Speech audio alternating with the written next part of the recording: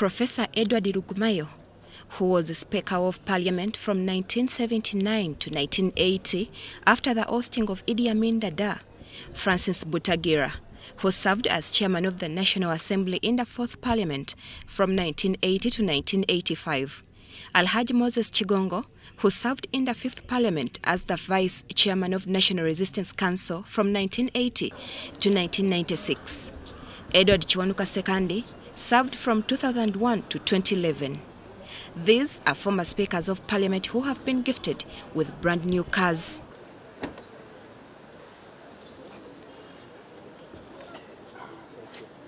The Speaker Anita Annet Among presented these cars to them in a ceremony that was held at Parliament.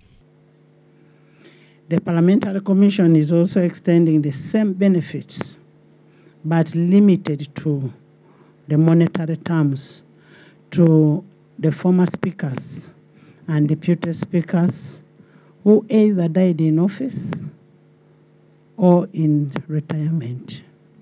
We are providing them those benefits.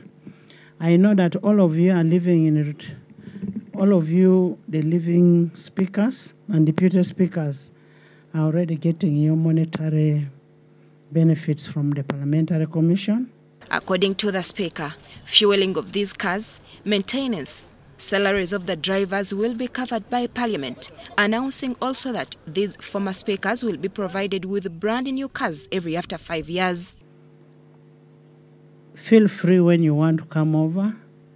When you see that there is something wrong that we are doing that needs to be corrected, we are always open to any advice. Rebecca Kadaga, though absent, her car was also present.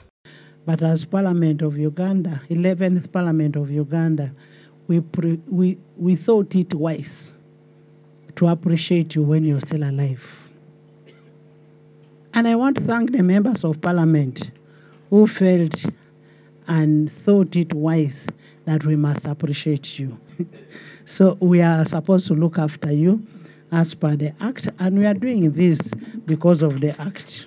You see, it's not really for us, but to recognize that we made some contribution to this country speaks a lot of volume because the country is like a stage. We play our part and go. But to be forgotten is a terrible thing.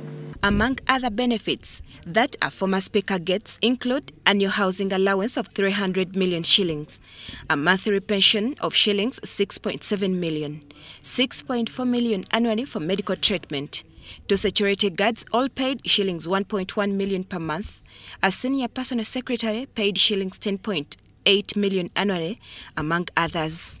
Shamim Naiga and Gloria Gutabinji, UBC News.